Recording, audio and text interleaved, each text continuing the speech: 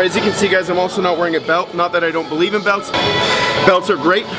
They definitely help to increase your numbers. Um, I'm just personally not wearing one today. So, 315 times three. It's 945 pounds of total volume per set. And I'm doing nine sets. So today I'm doing 8,500 pounds of total volume for this, for squats, okay? Next week, maybe I wanna go 8,700. You know, even if it's just a bit more, guys, constantly have a goal. If you come to the gym and look around, any gym you go to, everybody looks the exact same all the time. Everybody lifts the exact same all the time. I don't expect anyone to be elite. I don't expect anyone to be, you know, the next Ronnie Coleman, the next Dan Green, you know, best power lifter, anything like that. But I do expect that you constantly try to improve yourself, try to get better. In the gym, in life, in everything, try to get better. You're here, you're putting in the work, may as well do it right. Why do most people cheat the squats? Ego. Guys, don't use your ego when you're lifting. Get that, out, get that out of the way. If you need to drop the weight, go all the way down. Do the squats properly. Do the movement properly. You're gonna gain benefits from doing that. The benefit of doing a squat is that it's gonna improve your posture. It's gonna make you a lot stronger, a lot more powerful. The glute is a power muscle. If you're not doing it all the way down, you're not taking advantage and tapping into the benefits of doing it.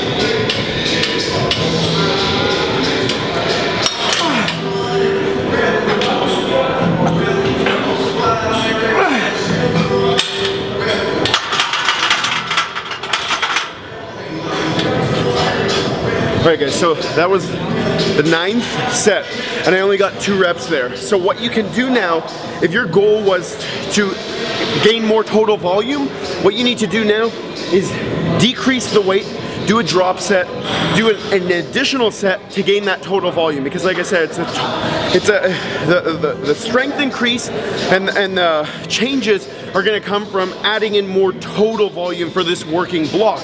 So now I missed 315 pounds off my total volume, do another set. Do a drop set, do, um, you know, a, a, pause set, things like that so that you can gain that extra volume that you came in to do. And that's why it's important to journal your workouts, okay? Um, that was it for the squatting session, guys. So make sure you post below what else you guys want to see.